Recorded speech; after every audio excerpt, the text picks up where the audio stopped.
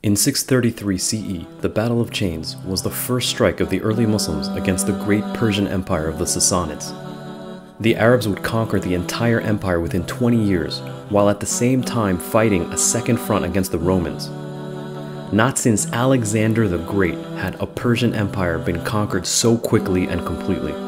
Before he died, the Prophet Muhammad had promised that the Muslims would conquer the East and the West, but before that could happen, the Arabs had to believe that they could take on the Sassanids and win. The great Persian empires had represented the height of civilization, culture, and raw military power for a thousand years. Could desert Arabs ever challenge an elite army from the most advanced and powerful empire in the world? The Battle of Chains proved it was possible. Leading the Muslims was General Khalid ibn Walid, a companion of the Prophet Muhammad who had dubbed him the Sword of Allah. Khalid is easily one of the greatest generals in history, and this battle is an example of his genius in warfare. Prior to this campaign, tribes in eastern Arabia had been launching lightning fast raids into Persian territory.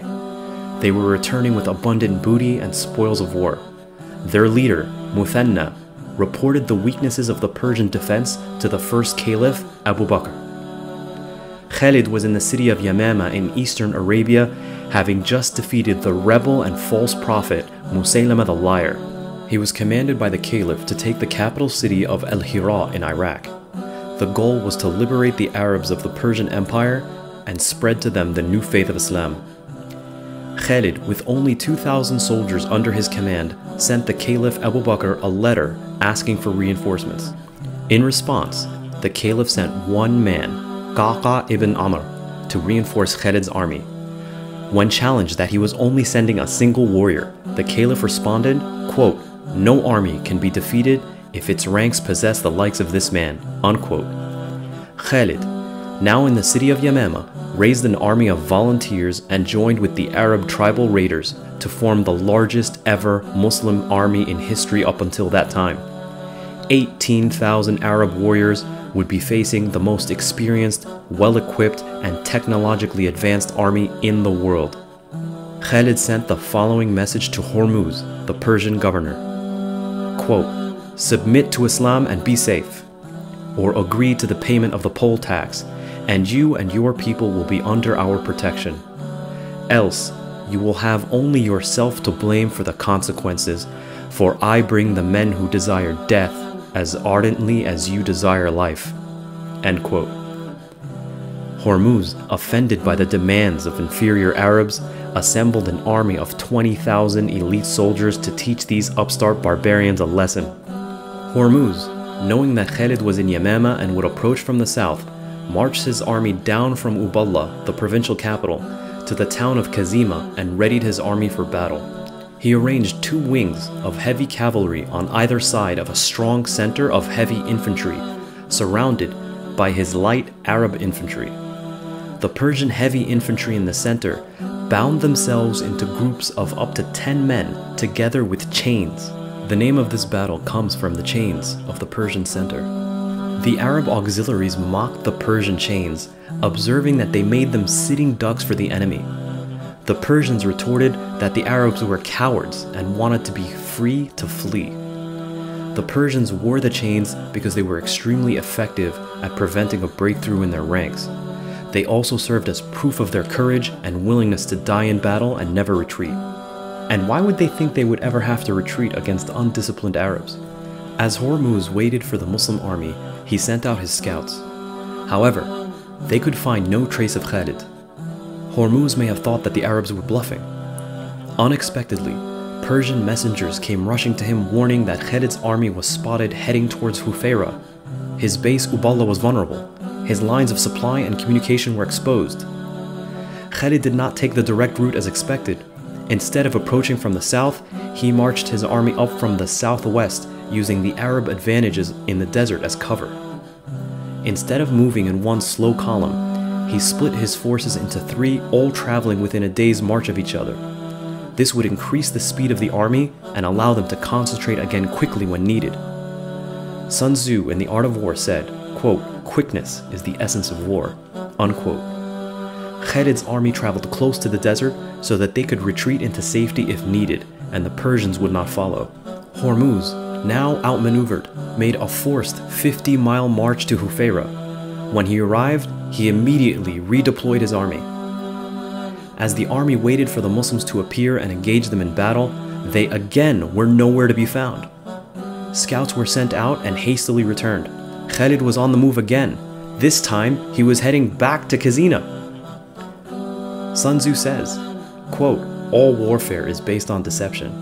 When we are near, we must make the enemy believe we are far away. When far away, we must make the enemy believe we are near. End quote.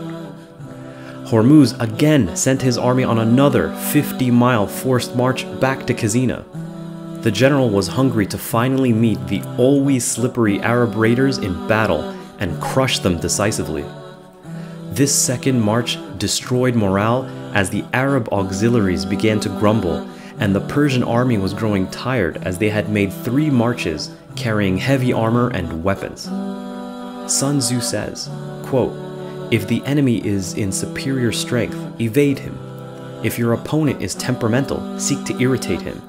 Pretend to be weak, that he may grow arrogant. If he is taking his ease, give him no rest. End quote. As soon as Hormuz arrived, he again deployed for battle, with the center chained together. Meanwhile, Khalid's army was taking their time getting to Kazima, waiting for the Persian enemy to get there first. This is where he decided he would stand and fight. What explains Khalid's erratic behavior? Why did he march to Hufeira in the first place when he could have marched directly to Kazima? Khalid was a master strategist and was well aware of the strengths and weaknesses of the Muslims and the Persians. Sun Tzu said, quote, If you know the enemy and know yourself, you need not fear the result of a hundred battles. End quote.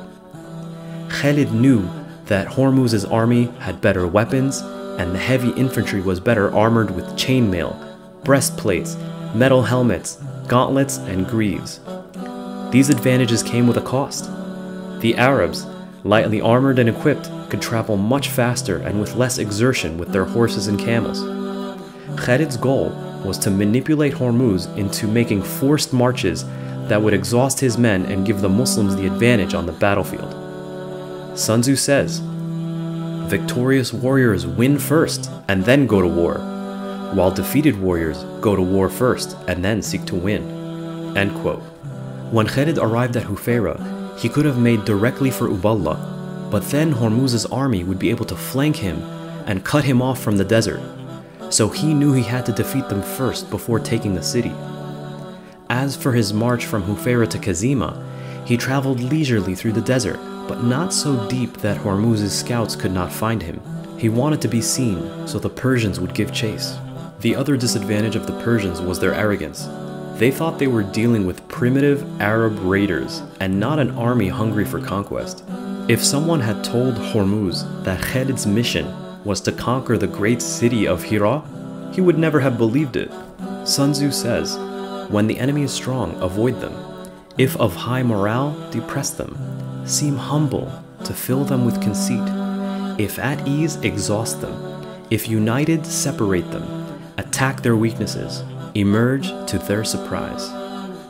Khalid's trap had been set. The Persians were exhausted and the Muslims were rested and hungry for victory. They were ready to finally meet their enemy on the battlefield. But little did they know that Hormuz had an ace up his sleeve. That's it for this video. Thank you all for watching. Make sure to share and subscribe so you don't miss the conclusion to the Battle of Chains in part 2. See you all next time. Adam out.